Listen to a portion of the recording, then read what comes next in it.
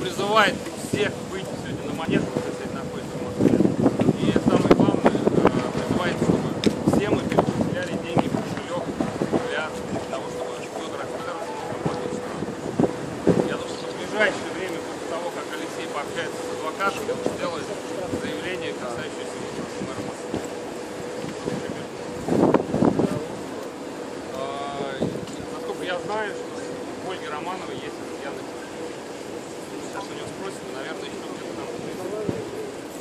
Что все записываемся в сопротивление, все не унываем, настроение у них хорошее. А, И главное, надо помочь офицеру, потому что ему сейчас сложнее. А? Ну, меня пустили только одного даже, не пустили там и я. Смотришь, движение какие вы? Нормально. А? Один по одному. А потом Сейчас они будут встречаться с адвокатом, я думаю, может быть, что-то адвокат Thank you.